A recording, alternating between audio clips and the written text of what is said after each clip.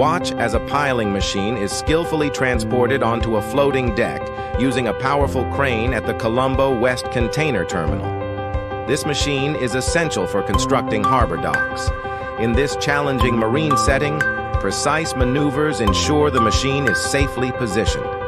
This operation showcases innovative techniques driving progress in maritime construction. Stay tuned for more updates on this transformative project in Colombo.